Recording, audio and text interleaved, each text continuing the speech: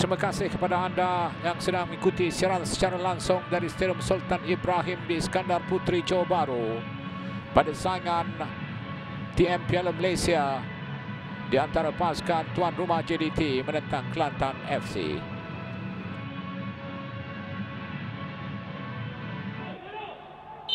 Mampukah JDT melakukan sesuatu?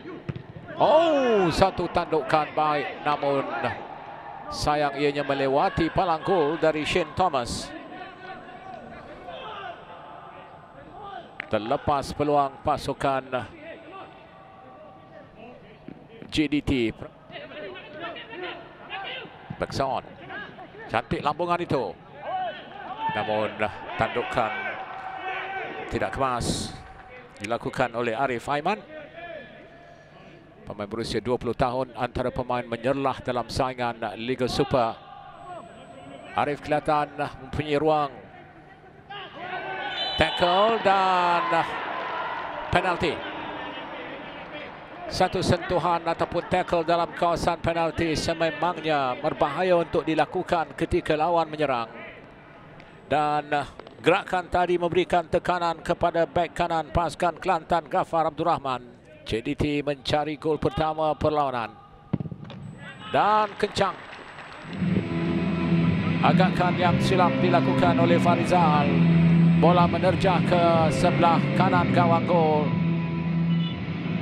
Jadi kebimbangan awal Benjamin Mora terlerai nampaknya kerana JDT sudah pun memperolehi gol keyakinan mereka melalui Bekson dan Silva. Satu sepakan yang baik, tandukan dari Shane. Dia mencari sudut di sebelah kiri, hampir-hampir bola itu dapat uh, memasuki gawang gol.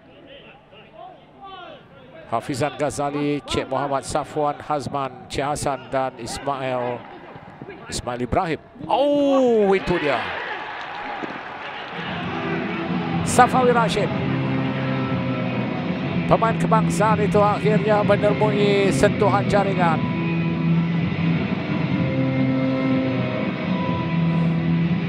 Tertekan saya kira Rizal Zamri Yahya dan kelegaan buat penjamin Mora.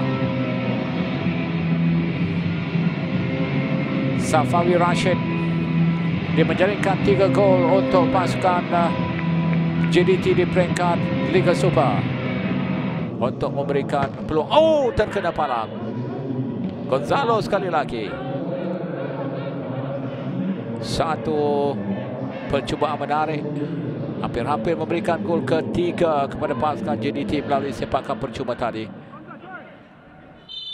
Jiwanantan tidak menunggu lama menamatkan aksi kumpulan di pelaran pertama di antara pasukan JDT menentang pasukan Kelantan FC yang berakhir dengan kemenangan dua gol kosong dicatatkan oleh pasukan JDT melalui jaringan Bekson pada minit ke-30 melalui sepakan penalti dan pada separuh masa yang kedua Safawi Rashid menjaringkan gol kedua yang dicari oleh pasukan tuan rumah.